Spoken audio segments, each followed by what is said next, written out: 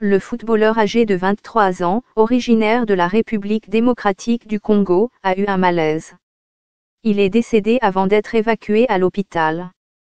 C'est avec le cœur meurtri que le club informe le public, les fans et ses membres de la mort soudaine de notre joueur Ntaku Zibakaka, affirme le Sagrada Esperança dans un communiqué. Avec un grand honneur à notre étoile disparue, dans le chagrin, nous transmettons nos plus sincères condoléances à sa famille ajoute-t-il.